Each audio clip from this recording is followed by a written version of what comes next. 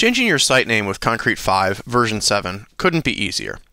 There's really two parts. The first part is what we display at the top of the page here, this logo header treatment. And the second part is the text that gets passed through as a meta tag for bookmarks and that type of thing. So I'll quickly show you both. Now depending on the theme that you're using, this might look different, but typically all you have to do is put the page in edit mode and change this logo block. Now you'll notice when I roll over these blocks, Sometimes they highlight green, and sometimes they highlight blue.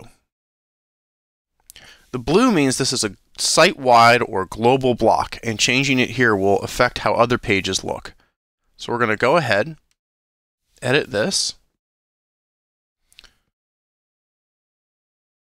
make this my site. You could also use this tool here just to insert an image if you've got a logo you'd like to replace here. And we'll go ahead and save. So now once I've published my changes, this will actually update across all pages in my site. The only other thing you should check is what Concrete 5 thinks the name of your site is on its own. Right now, if I go to bookmark this page,